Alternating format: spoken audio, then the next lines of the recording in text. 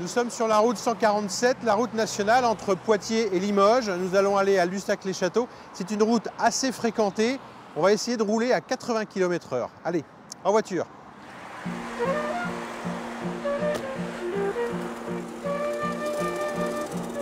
C'est vrai qu'en roulant à 80, on a largement le temps de voir le paysage. C'est vrai que c'est assez tranquille.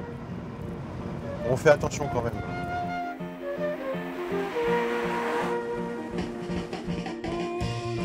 Donc là, entre Poitiers et Limoges, on a une portion à 110 km/h, une portion à deux fois deux voies. Donc là, les gens ont envie de doubler, qu'on soit à 80 ou 90.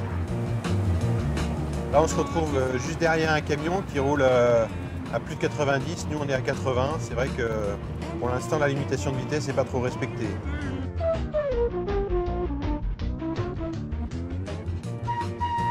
Donc là, on a une spécificité. On a une fois deux voies d'un côté, une fois une voie de l'autre côté. Les autres qui sont sur la une fois deux voies ont le droit de rouler à 90.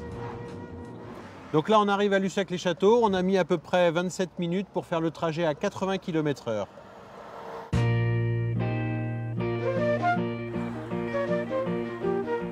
Là, on voit euh, les panneaux 80 km/h qui sont euh, masqués et qui seront euh, démasqués ce week-end.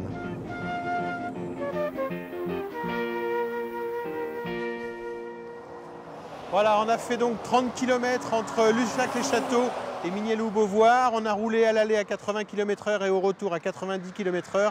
On a gagné à peu près 30 secondes, donc c'est pas grand-chose.